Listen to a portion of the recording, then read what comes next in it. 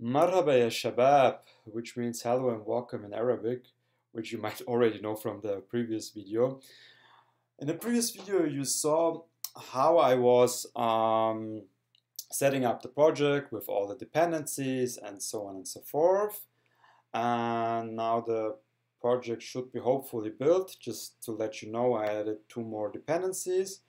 Um, these dependencies, one for MockK and AssertJ, these dependencies will come in handy when we're doing our unit tests after we did the actual implementation of the CRUD API and of course we will te test the repository layer and service layer. And for the controller we will write integration tests.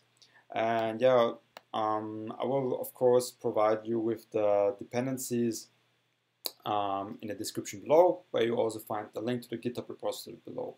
And if you do some changes in the dependency, you will should see here some gear icon, or otherwise you can just click here on Gradle, and Gradle will build the project for you. As you can see, there are some things running, and here we have our build tab, and yeah, and yeah.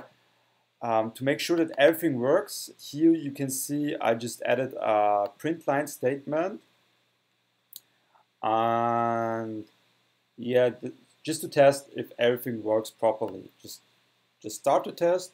And just to let you know I want to print um, after the the backend is built um, to print marhaba ya shabab which I said before which means hello and welcome.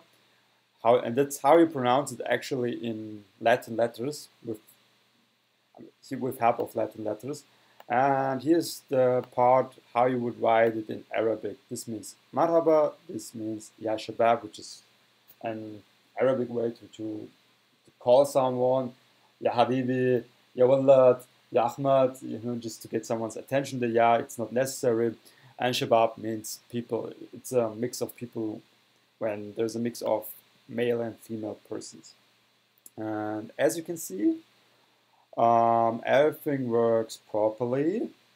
And you see all the log statements.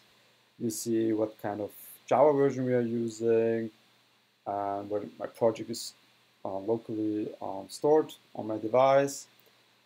And yeah as you can see we have no we have no um, profiles. We later we will use a development profile with the help of the application file, which will be later transformed to a YAML file, and so that you can do some local development and do not have to push stuff in your production database. Uh, as you can see, the application is running on port 8080, which is using Tomcat uh, as a web server. Uh, yeah, everything should work properly. Here we have our statement our print statement, marhaba ya shabab. Now let's just test things out. Here's, by the way, you see my uh, written, the written part of this tutorial. And now I just wanna use 80, 80 and we get the default white label error page from Spring Boot, which indicates that everything is working properly.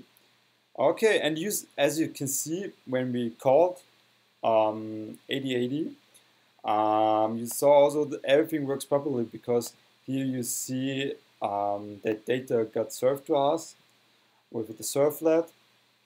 And yeah, everything works now properly. And I would say we can start with the next video to the actual development. We will start with the uh, task class, which will be our ORM or object relationship mapping, which will map to a table in our database.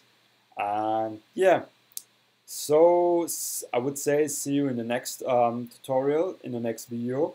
And if you have some things that I should uh, improve or you want to say what I'm doing good in this or in this tutorial series, please write me some comments, like and subscribe. And yeah, see you in the next video. Ila